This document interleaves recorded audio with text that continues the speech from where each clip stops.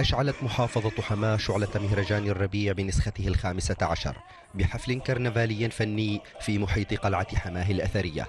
وتضمن عروضا فنية وتراثية ورياضية وسط حضور من الفعاليات الرسمية والأهلية. اليوم أطفأنا الشمع الخامس عشر لمهرجان ربيع حماه بصورة تعكس الواقع الجديد لهذه المدينة في إبداع الإنسان السوري. وفي انطلاقة جديدة لحركة الاقتصاد والسياحة والثقافة والرياضة في حماة وفي سوريا كلها. اليوم شعب حماه مدينة أبي الفداء آه، يعلنوا الانتصار مع جيش الوطن ويقولون للعالم كله إرادة الحياة تغلب إرادة تغلب الإرهاب. بدأ المهرجان عروضه بعمل فني استعراضي بعنوان بيارق النصر.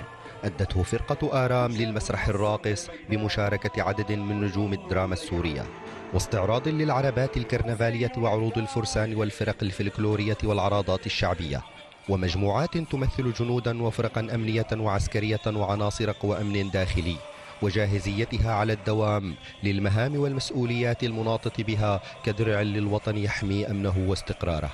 واختتم حفل الافتتاح الذي تخلله عرض للطيران الحربي وإطلاق الألعاب النارية التي أضاءت وزينت سماء المهرجان بألوان ورسومات متنوعة.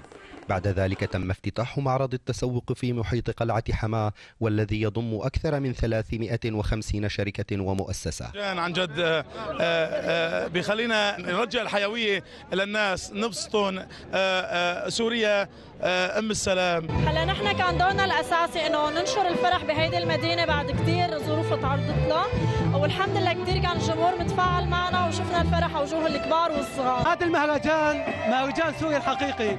مهرجان النصر الحقيقي. هذا ربيع سوريا. عاد اليوم القلق إلى مدينة حما آه، طبعا مع انتصارات الجيش العربي السوري. ويحفل المهرجان بدورته الخامسة عشر بالعديد من الأنشطة والفعاليات المتنوعة ما بين السياحية والثقافية والرياضية والتسوق والتراث والتي ستقام في مدينة حماة ومنطقتي مصياف والسلمية خلال الفترة الواقعة ما بين الخامس والعشرين من نيسان وحتى العاشر من أيار. للأخبارية السورية علي شحود حما